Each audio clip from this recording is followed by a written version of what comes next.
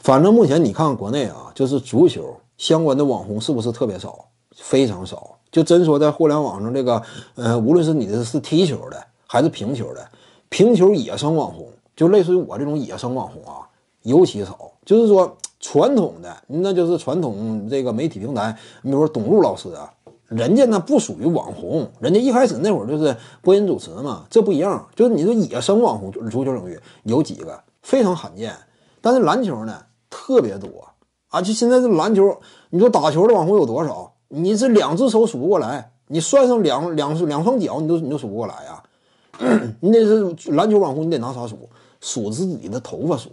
一般秃顶的那简直篮球网红比自己的头发都多呀。就这样，遍地走篮球网红，就是各个厂牌，你说那一个一个厂牌多少下边的那个网红球手啊？太多了，网红球手啊，这个路人王啊，那个百分大战呢，什么这个这个 MCN 机构下边养的太多人了，篮球网红简直是浩如烟海，特别竞争激烈，这完全是个红海。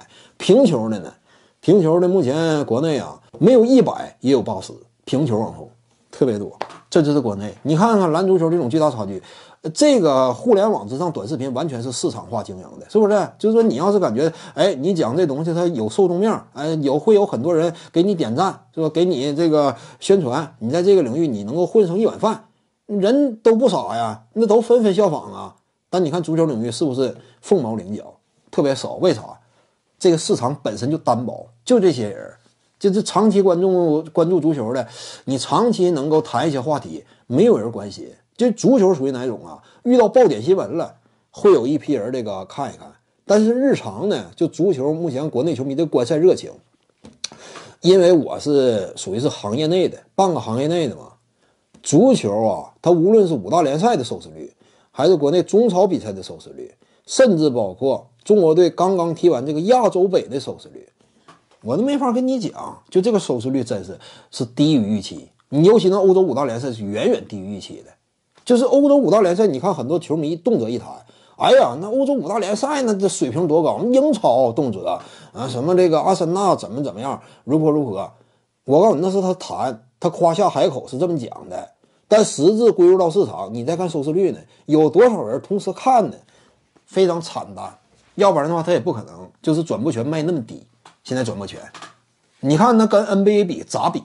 你看那别说跟 NBA 比，跟 CBA 比咋比？没法比都。这就是球迷的选择，真实他没有那么多人看比赛。现实世界，年轻人原本愿意踢球的就那更少之又少啊！人年轻人的小孩儿，你有几个愿意踢球的？那个各个城市那很多，你包括按理说沈阳啊，属于是足球的摇篮之一了。你看过去有多少足球名将来自于辽宁省的？那沈阳那很多足球名将都在辽宁踢球，在在沈阳踢球。按理说沈阳的足球氛围已经是应该是相当浓厚了。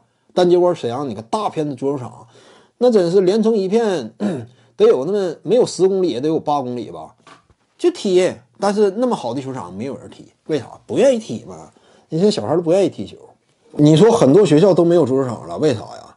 因为有足球场，球 小孩不踢，那你以为学校不愿意那个小孩日常就一个个健康就劳逸结合吗？也愿意啊，因为他不可能说一个人天天光闷头学习，一点不锻炼吧。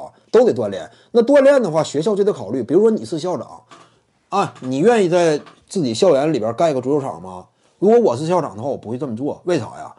我盖个足球场，平时没人踢，就它利用率太低。我当然愿意盖篮球场了。篮球场盖的多，同时呢，他又排队玩，大家的积极性、热情又高，而且男女都能参与。整个学校体育氛围搞得热火朝天的。你要是把篮球场都拆了，都改成足球场，哪怕是小场，也不行啊，硬者寥寥啊。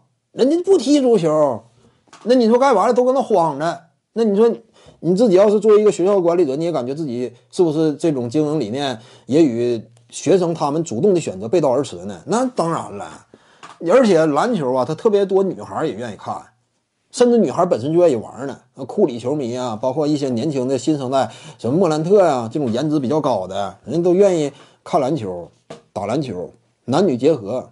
你这么整呢？校园当中篮球啊蓬勃发展，几乎人人参与。那足球参与的人太少了，这都是市场选择。你以为那学学校都都傻呢？市场选择，真的，那会很多人就说：“哎呀，这个就是因为足球占地面积大，人才不盖足球场。欧洲，你看人足球场少吗？为啥足球场多呀？人就乐意踢足球，人不乐意打篮球，人家愿意踢，你当然多盖了，都这样。